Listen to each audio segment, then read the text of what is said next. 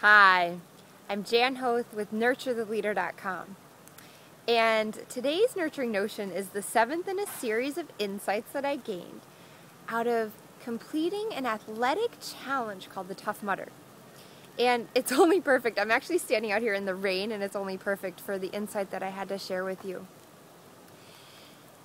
The, by far, for me, the most challenging obstacle that there was for me to complete was one called the Arctic Enema. And you could just see, like, oh, you can see it in my face, like, wow. And it's, it's really as terrible as it sounds. It was actually the first obstacle in the race, and it was a giant cargo container filled with ice water. And what I had to do is I actually had to jump into this, swim underneath a barbed wire fence, and then come out the other side.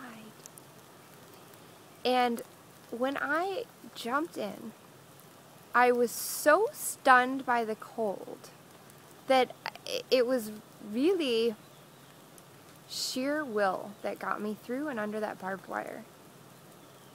And yet, I know I was starting to slow down and I was starting to freeze and I was having such a challenging time to think.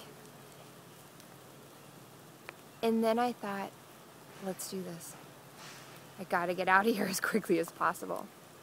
And then out of nowhere, an arm was pulling me out of the water to the side of the container. A volunteer had grabbed onto me.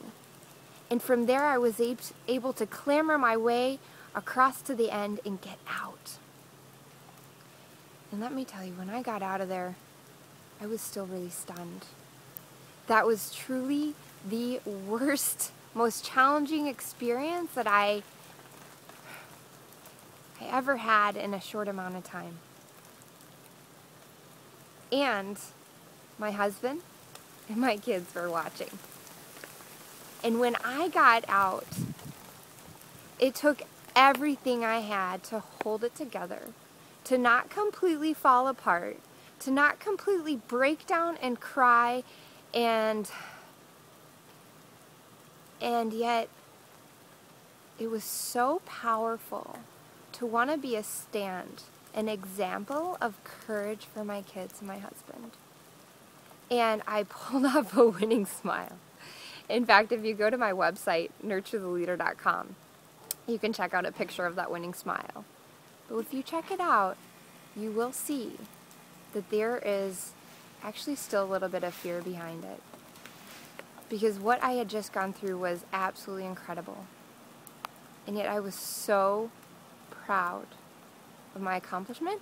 And I was so clear that after that, there was like just about anything I can't handle. So, how this relates to you and your life is actually the importance of really being with the faith and the trust that you require no matter where in your life, whatever you're challenged by, and even if it as is as visceral as the idea of an Arctic enema, I invite you to have faith I invite you to have trust that if you keep persevering, that a hand will come down and reach you and help you out, a helping hand from seemingly out of nowhere. And you will be able to continue to fulfill on that life that you are here to live. Because you know what?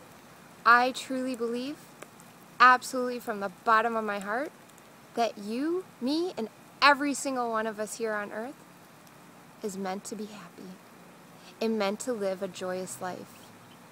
So wherever you're at or the next time you you have the sense that you're experiencing something like this this crazy obstacle, have trust. Have faith. It will soon be by and it's just up to you to persevere. Thank you for stopping by today. It was awesome speaking with you, and I look forward to seeing you very soon. Bye bye.